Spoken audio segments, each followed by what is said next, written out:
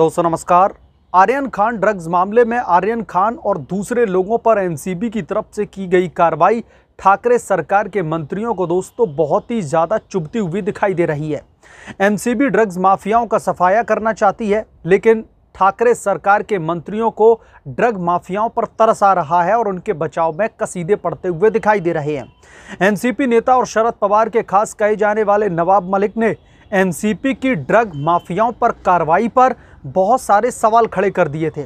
ये तो आपको पता ही होगा। इसी पर अब महाराष्ट्र के पूर्व मुख्यमंत्री और बीजेपी के नेता देवेंद्र फडणवीस ने शरद पवार की पार्टी एनसीपी, नवाब मलिक और ठाकरे सरकार को जमकर लताड़ा है। महाराष्ट्र के पूर्व सीएम देवेंद्र फडणवीस ने नवाब मलिक पर पलटवार करते हुए कहा कि नवाब मलिक का दर्द ही कुछ और है। जब से एनसीबी ने उनके रिश्तेदार को ड्रग्स के मामले में गिरफ़्तार किया है, तब से वे लगातार एनसीबी के खिलाफ में आग उगलते हुए दिखाई देते हैं। यानी कि दोस्तों, जब भी एनसीबी की तरफ़ से कार्रवाई की जाती है तो नवाब मलिक को वो गलत ही दिखाई जो है देता है। इसकी वजह जो है बहुत ही ज़्यादा पर्सनल है, क्योंकि एनसीबी ने नवाब मलिक के रिश्तेदार पर कार्रवाई का हंटर जो चला दिया था, उन्हें गिरफ़्तार कर दिया था। तब से लगातार नवाब मलिक जो है पर्सनली एनसीबी की जो इन्वेस्टिगेशन है, जितनी भी कार्रवाई की जाती है, उन्हें वो पर्सनली लेने लगे हैं और एनसीबी के ऊपर ठीकरा फोड़ने लगते हैं। तो वो आग तो उगलेंगे ही। दोस्तों, सवाल ये नहीं है कि वहाँ कौन उपस्थित था या फिर कौन नहीं था? सवाल यह है कि क्या वहाँ ड्रग्स पार्टी नहीं चल रही थी? जब वहाँ खुलेआम ड्रग्स का मेला लगा हुआ था, ये चर्सी वुड के लोग जब ड्रग्स ले रहे थे तो मुखबिर कोई भी हो, उससे क्या फ़र्क पड़ता है?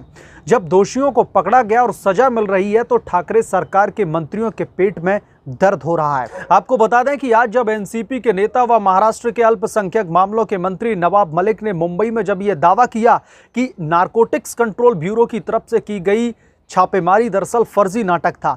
उन्हें क्रूज पर कोई भी नशीला पदार्थ नहीं मिला। इस पर बीजेपी नेता ने मलिक को जवाब देते हुए पलटवार किया कि क्रूज पार्टी मामले में मलिक के आरोप पर भाजपा नेता फडणवीस ने पूछा, और अगर वहाँ ड्रग्स की पार्टी चल रही थी तो क्या उसका समर्थन नवाब मलिक करते हैं?